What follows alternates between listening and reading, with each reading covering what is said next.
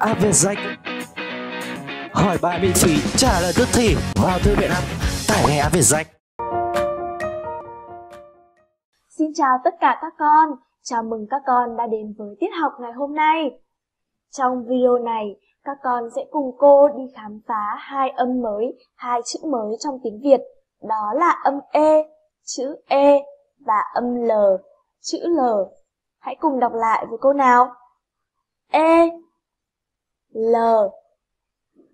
Sẵn sàng chưa? Cô trò chúng ta sẽ cùng bắt đầu bài mới ngay thôi nhé. Phần số 1, làm quen. Các con cùng quan sát hình ảnh sau đây nào.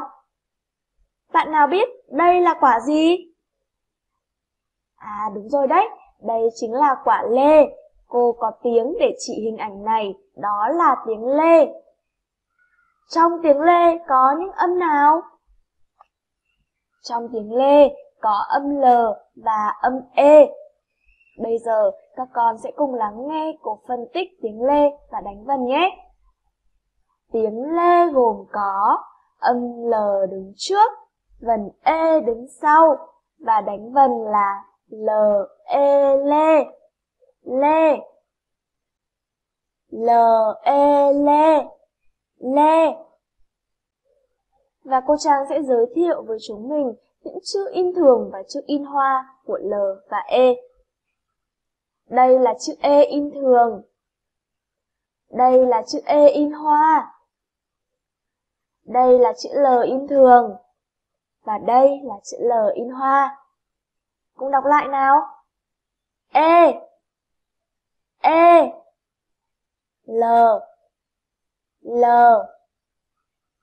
L E l lê L E lê lê Vậy là chúng mình đã được làm quen với hai âm mới, đó là âm L và âm E.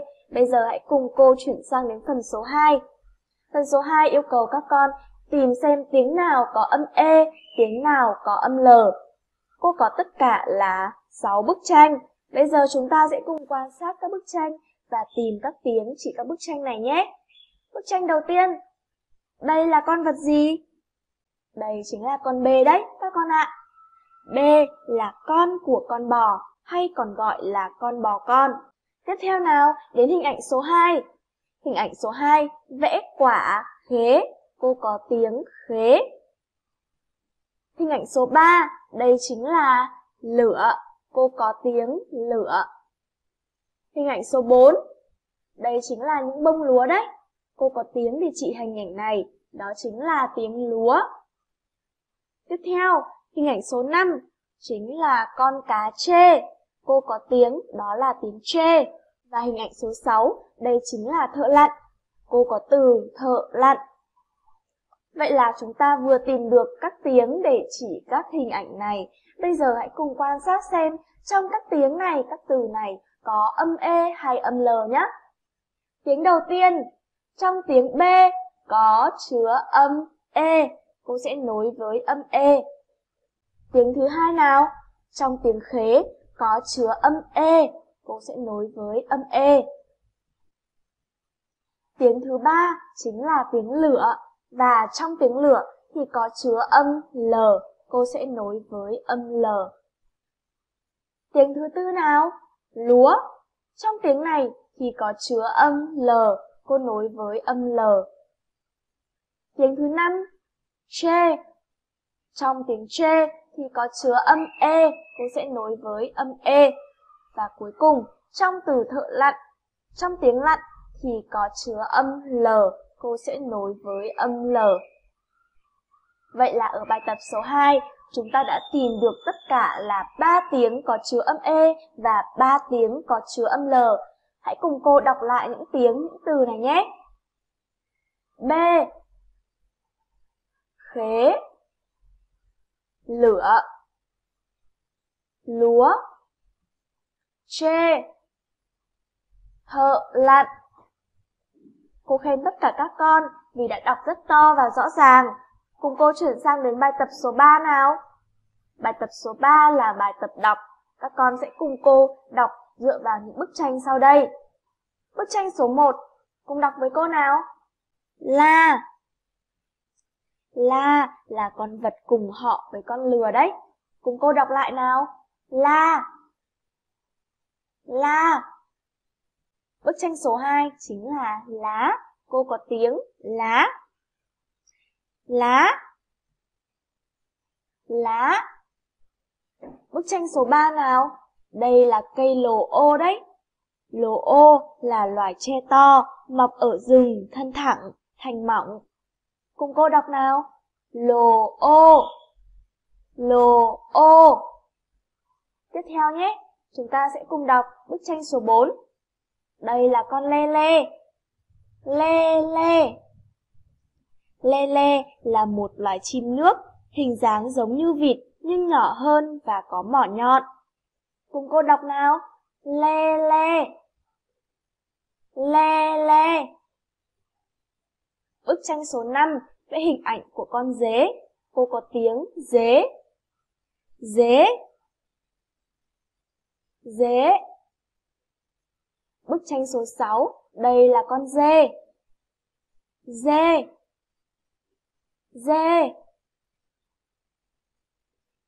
Cùng quan sát tiếp nhé. Cô có các bức tranh sau đây. Bức tranh số 7. Đây chính là hình ảnh của d, d là bờ sông hoặc bờ biển, ngăn nước, bảo vệ nhà cửa, đồng ruộng. Cùng cô đọc nào. d, d,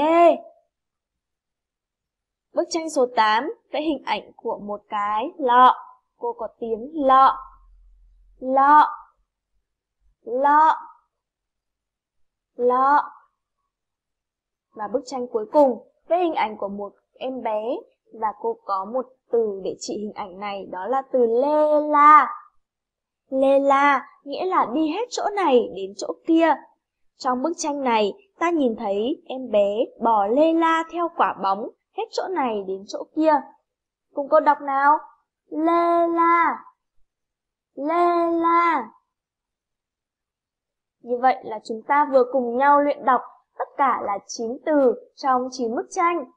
Các con sẽ cùng luyện đọc thêm nhiều lần để có thể đọc được thành thạo và chính xác nhé.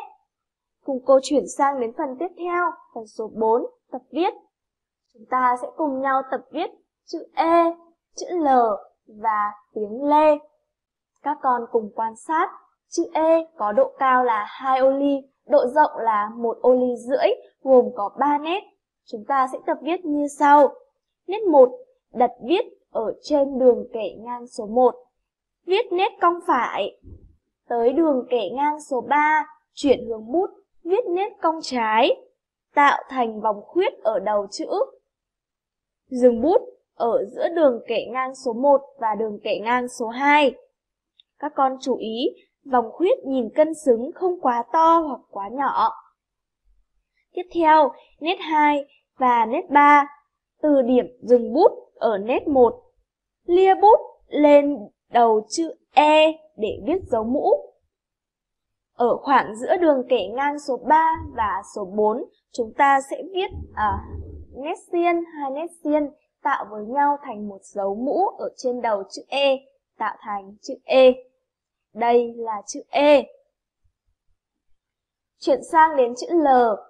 Chữ L có độ cao là 5 ô ly và độ rộng là 2 ô ly. Chuyển sang đến chữ L. Chữ L có độ cao là 5 ô ly, gồm có một nét. Nét viết chữ L là kết hợp của hai nét cơ bản, nét khuyết xuôi và móc ngược phải. Đây là nét khuyết xuôi và nét móc ngược phải. Cách viết như sau. Đặt bút trên đường kẻ ngang số 2, viết nét khuyết xuôi. Đầu nét khuyết chạm đường kẻ ngang số 6. Sau đó chúng ta chuyển hướng bút viết nét móc ngược phải. Chạm đến đường kẻ ngang số 2 thì dừng lại, ta được chữ L. Để viết được tiếng Lê, chúng ta sẽ viết chữ L trước, chữ E sau và lưu ý điểm nối giữa chữ L và chữ E nhé. Bây giờ chúng ta sẽ cùng quan sát video bạn nhỏ sau đây tập viết.